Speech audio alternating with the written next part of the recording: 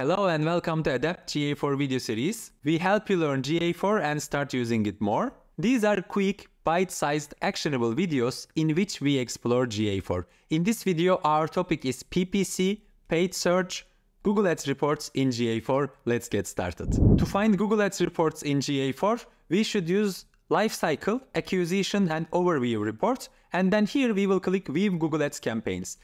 If your left menu is different than mine, and if you are not seeing lifecycle acquisition overview, um, that means you need to adjust your library, you need to adjust your navigation on GA4. I have another video which does that, I will leave a link around. Now let's focus on acquisition and overview. Here you will see view Google Ads campaigns.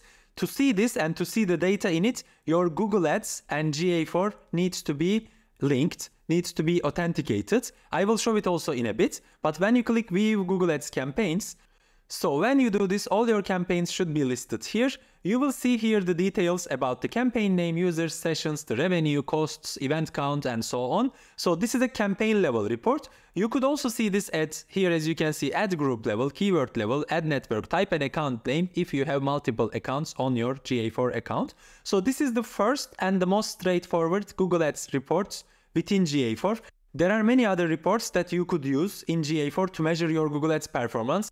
It's actually quite a deep topic with lots of opportunities. GA4 offers us a huge customization options. When we customize the reports, when we create custom reports, then we can see a lot more than we see in the standard reports. For that, I would strongly recommend our video course, Data First Google Ads Optimization course. It's here free on YouTube. You will see 20 plus very useful reports, custom reports, both from GA4 and Google Ads within this course.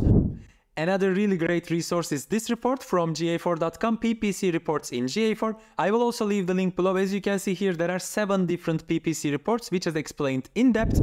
So you can use these additional resources to expand your reporting capabilities in GA4. If you like this video, you can consider signing up to our GA4 training. It's completely free. It has lots of resources here. In this page, you will see the most up-to-date GA4 trainings that we offer.